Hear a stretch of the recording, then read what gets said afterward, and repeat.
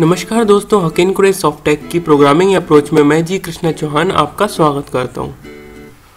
किन्हीं भी दो नंबर्स का मॉडलस सी प्रोग्रामिंग के थ्रू किस तरह से निकाल सकते हैं, मॉडलस किस तरह से निकाला जाता है, ये होता क्या है, आज हम इस टॉपिक पर बात करने वाले हैं आज के टॉपिक पर बात करने से पहले आपको पता होना चाहिए स्ट्रक्चर ऑफ़ सी प्रोग्राम जो कि मैं लास्ट वीडियो में भी डिस्कस कर चुका हूँ और आपको पता होना चाहिए डेटा टाइप। डेटा टाइप क्या होता है और किस तरह से हम इसका यूज़ कर सकते हैं।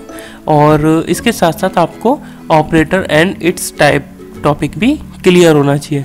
तो इन तीनों टॉपिक्स की वीडियो लेक्चर्स भी अवेलेबल हैं और डिटेल्ड नोट्स भी अवेलेबल हैं, जिनके लिंक मैंने डिस्क्रिप्शन में दे दिए हैं। आप वहाँ पर जाकर भी इनको पढ़ सकते हैं, जिससे कि आज का टॉपिक और आज के जो लेक्चर है वो आपको 100 परसेंट समझ में आए। तो चलिए शुरू करते हैं।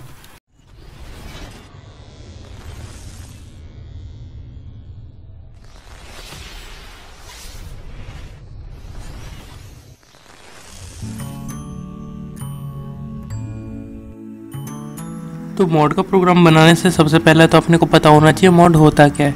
अगर हम एक नंबर को दूसरे नंबर से डिवाइड कर रहे हैं और जो हमारा शेषफल बच रहा है, रिमाइंडर बच रहा है, वो हमारा मॉड कहलाता है।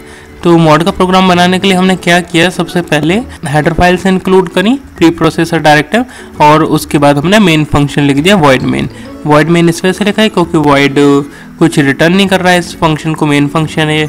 अब यहाँ पर integer A equal to nineteen और बी इक्वल टू सेवन ले लिया। सी ले लिया हमको स्टोर करने के लिए, जो भी हमारे इसमें आउटपुट आने वाला है। क्लियर स्क्रीन लगाई और C equal to A mod B हमने ये यहाँ पर ऑपरेटर का यूज़ किया। ठीक है? अब मैंने प्रिंट एफ़ में लिख दिया mod is equal to percentile D comma C और उसके बाद गेट सी एच लगा दिया और कर दिया ये बंद। तो ये हमारा प्रोग्राम हो गया जिसमें हमने यहाँ पर मॉड निकाला हुआ है। C equal to A mod B अब इसका क्या मतलब है कि जो भी हमारा ए है, जैसे कि हमने यहाँ पर है हमारा 19 और बी है 7 19 को 7 से डिवाइड करते हैं और उस तब जो भी हमारा रिमाइंडर बचता है, जैसे सात दूनी चौदह, पंद्रह सोलह सत्रह अठारह उन्नीस पाँच तो इसका आंसर आ जाएगा पाँच। देखते हैं कि क्या सच में इसका आंसर पाँच आ रहा है। तो उससे पहले तो चेक करते हैं कि भाई हमारा प्रोग्राम एरर है या नहीं है। देखिए हमारा प्रोग्राम एरर फ्री है। और उसके बाद रन करते हैं। रन करने पर देखिए आंसर आ रहा है मॉड इज़ फाइव थोड़ी सी वैल्यू चेंज करके देख लेते हैं, बड़ी वैल्यू देते हैं। जैसे 190 को हम डिवाइड कर रहे हैं 71 से। ठीक है? रन करते हैं। देखिए 48 यानी कि कटने के बाद 48 एट यहाँ पर इसका रिमाइंडर बच रहा है, पूरा पूरा कटने के बाद।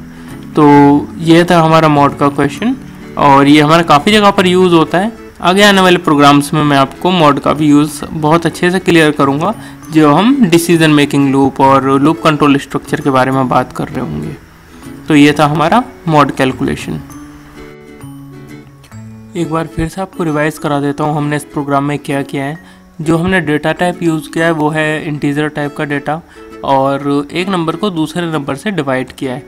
तो जब हमने एक नंबर को दूसरे नंबर से डिवाइड किया तो डिवाइड करने पर जो भी बचा, वो है आपका मॉड अब इसमें जो हमने ऑपरेटर यूज़ किया है, वो यूज़ किया है मॉडलस ऑपरेटर जैसे C equal to A mod B तो ए में जो भी वैल्यू होगी, उसको बी वाली वैल्यू से डिवाइड करेंगे और जो भी रिमाइंडर बचेगा, वो होगा मॉड जैसे कि हमने प्रिंट एफ़ के अंदर mod is percentile D comma C यानी कि सी की वैल्यू और परसेंटाइल डी से रिप्लेस हो जाएगी. तो आंसर कुछ इस तरह से जाएगा मॉड इज़ और जो भी हमारा मॉडलस बच रहा हो.